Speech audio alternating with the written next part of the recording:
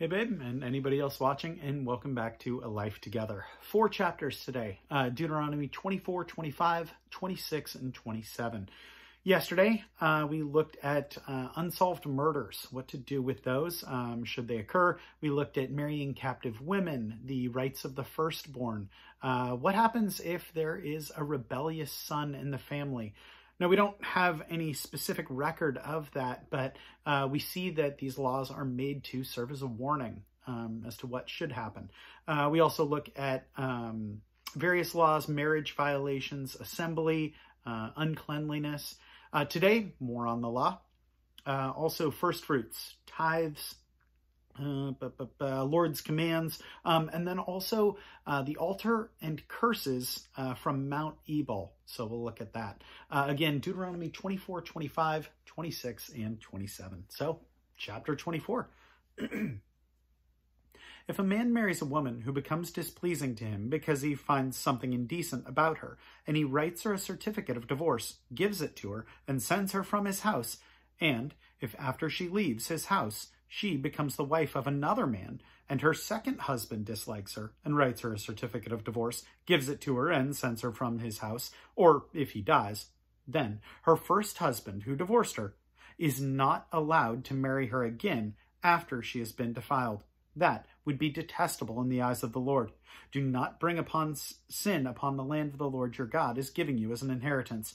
If a man has recently married, he must not be sent to war or have any other duty laid on him. For one year he is to be free to stay at home and bring happiness to the wife he has married.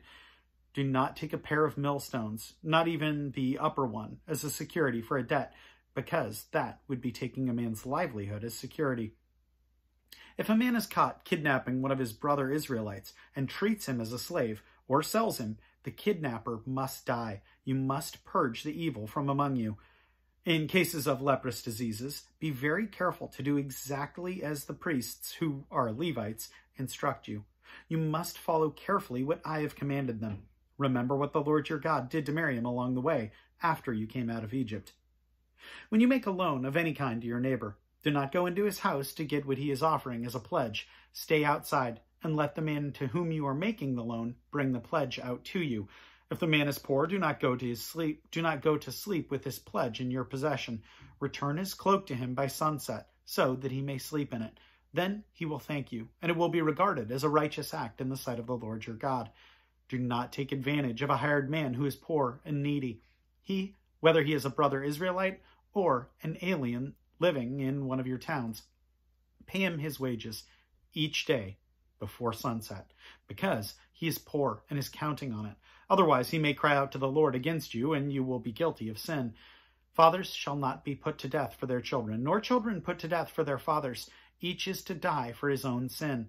Do not deprive the alien or the fatherless of justice, or take the cloak of the widow as a pledge.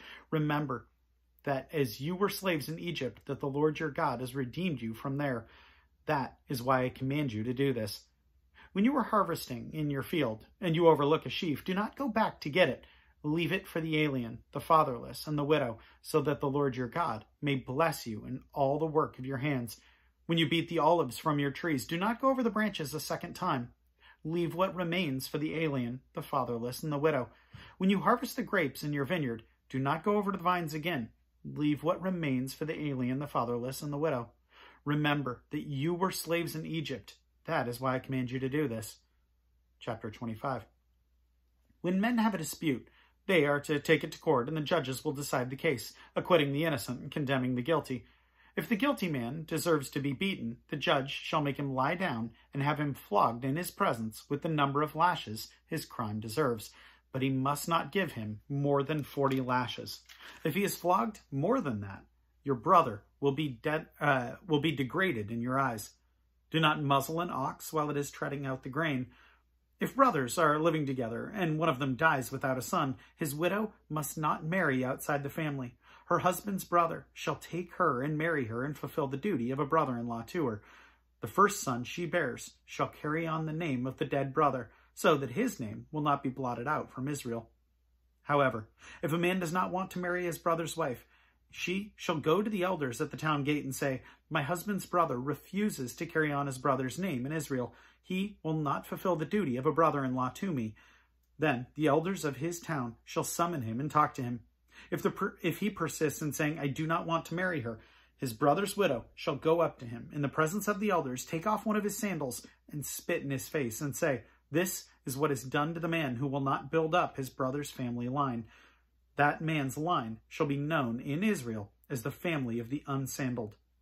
If two men are fighting and the wife of one of them comes to rescue her husband from his assailant, and she reaches out and seizes him by his private parts, you shall cut off her hand. Show her no pity. Do not have two different weights in your bag, one heavy, one light. Do not have two different measures in your house, one large, one small. You must have accurate and honest weights and measures, so that you may live long in the land the Lord your God is giving you. For the Lord your God detests anyone who does these things anyone who deals dishonestly. Remember what the Amalekites did to you along the way when you came out of Egypt. When you were weary and worn out, they met you on your journey and cut off all who were lagging behind. They have no fear of God. When the Lord your God gives you rest from all the enemies around you in the land he is giving you to possess as an inheritance, you shall blot out the memory of Amalek under heaven. Do not forget. Chapter 26. When you have entered the land the Lord your God is giving you as an inheritance, and have taken possession of it and settled in it, take some of the first fruits of all that you produce from the soil of the land the Lord your God is giving you, and put them in a basket. Then go to the place the Lord your God will choose as a dwelling for his name, and say to the priest in the office at the time, I declare today to the Lord your God that I have come to the land the Lord swore to our forefathers to give us. The priest shall take the basket from your hands and set it down in front of the altar of the Lord your God. Then you shall declare before the Lord your God, My father was a wandering Aramean, and he went down into Egypt with a few people and lived there and became a great nation, powerful and numerous. But the Egyptians mistreated us and made us suffer, putting us to hard labor. Then we cried out to the Lord our, of our fathers. And the Lord heard our voice and saw our misery, toil, and oppression. So the Lord brought us out of Egypt with a mighty hand and an outstretched arm, with great terror and with miraculous signs and wonders. He brought us to this place and gave us this land, a land flowing with milk and honey. And now I bring the first fruits of the soil that you, O Lord, have given me. Place the basket before the Lord your God, and bow down before him. And you and the Levites and the aliens living among you shall rejoice in all the good things the Lord your God has given to you and your household. When you have finished setting aside a tenth of your produce in the third year, the year of the tithe, you shall give it to the Levite, the alien, and the fatherless, and the widow so that they may eat in your towns and be satisfied. Then say to the Lord your God, I have removed from my house the sacred portion and have given it to the Levite, the alien, the fatherless, and the widow, according to all that you commanded. I have not turned aside from your commands, nor have I forgotten any of them. I have not eaten any of the sacred portion while I was in mourning, nor have I removed any of it while I was unclean, nor have I offered any of it to the dead. I have obeyed the Lord my God. I've done everything you commanded me. Look down from heaven, your holy dwelling place, and bless your people Israel, and the land that you have given us as you promised on oath to our forefathers, a land flowing with milk and honey. Then the Lord your God commands you do this day to follow these decrees and laws, carefully observe them with all your heart and with all your soul.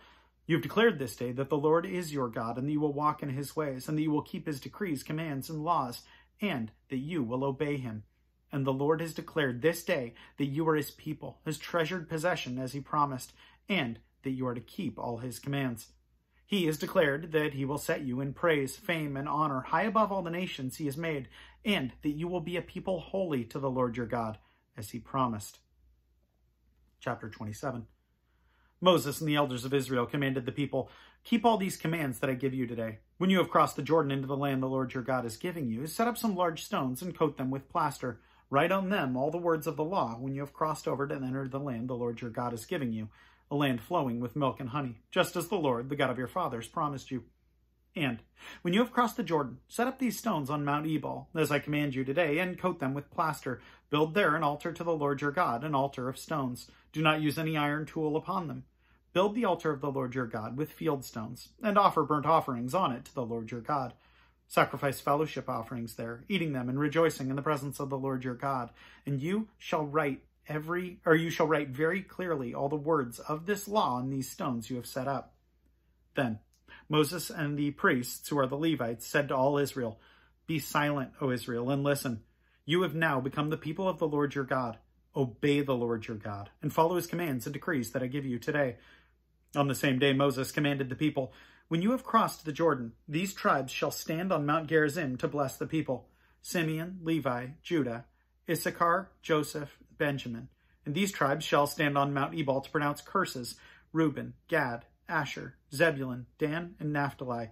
The Levites shall recite to all the people of Israel in a loud voice Cursed is the man who carves an image or casts an idol, a thing detestable to the Lord, the work of the craftsman's hands, and sets it up in secret. Then all the people shall say, Amen. Cursed is the man who dishonors of his father for his mother. Then all the people shall say, Amen. Cursed is the man who moves his neighbor's boundary stone. Then all the people shall say, Amen. Cursed is the man who leads the blind astray on the road. Then all the people shall say, Amen. Cursed is the man who withholds ju- justice from the alien, the fatherless, or the widow. Then all the people shall say, Amen. Cursed is the man who sleeps with his father's wife, for he dishonors his father's bed. Then all the people shall say, Amen. Cursed is the man who has sexual relations with any animal. Then all the people shall say, Amen. Cursed is the man who sleeps with his sister, the daughter of his father, or the daughter of his mother. Then all the people shall say, Amen. Cursed is the man who sleeps with his mother in law. Then all the people shall say, Amen. Cursed is the man who kills his neighbor secretly. Then all the people shall say, Amen. Cursed is the man who accepts a bribe to kill an innocent person. Then all the people shall say, Amen. Cursed is the man who does not uphold the words of this law by carrying them out. Then all the people shall say, Amen. So I like there we get how important it is on Mount Ebal that people are following the will and the word of God. So, so important. Uh, we also see that 26, 16. Uh, it's actually 16 through 19. The Lord your God commands you this day to follow these decrees and laws carefully and observe them with all your heart and with all your soul. You have declared this day that the Lord your God, to the Lord, or excuse me, that the Lord is your God, and that you will walk in his ways, and that you will keep his decrees, commands, and laws, and that you will obey him. And the Lord has declared this day that you are his people, his treasured possession, as he promised, and that you are to keep all his commands. He has declared that he will set you in praise, fame, and honor, high above all the nations he has made, and that you will be a people holy to the Lord your God, as he promised. So it's a fairly simple question there. Is this stuff that still applies today? I mean, I know this is Old Testament, but does this sound like what our lives should look like? The Lord God, your God, commands you this day to follow these decrees and laws and carefully observe them with all your heart and with all your soul. Well, yeah, I mean, I think that's pretty definitive, right? That we recognize that we cannot have a perfect life and we are saved by grace.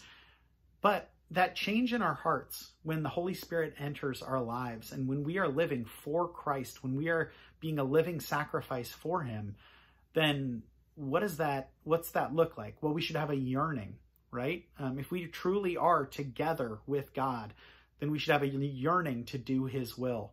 Doesn't mean we're perfect, but that means that our lives should strive to do that and strive to look like that, just as God's people used to look as well. So again, we have a different a different thing that we're looking to. We are looking to Jesus. Uh, they were looking to the Word of God. Jesus is the Word of God made flesh. So, but there's a lot that doesn't change in that. I think that's something that's important for us to recognize and very much worth praying about. Let's do it. God, I just thank you as always for your word and that we can look to your word for truth. I thank you that we find hope and we find consistency within these words, Lord. Let us let us see that what you demand of us, God, is that we we follow your son and that we show our love through that obedience. Just as you wanted the Israelites to be obedient, Lord, you want us to be obedient as well. Um, let that be our passion is showing you our love through that obedience. And when we fail, to not get down on ourselves, Lord, but to recognize that grace extends so much further than we could ever recognize. Once again, we thank you for the reason for that grace for your Son. And it's in His name we pray. Amen. That is about all I have for you today. As always, know I appreciate you. And wife, appreciate you tons. Plan on seeing you tomorrow. Have a good one.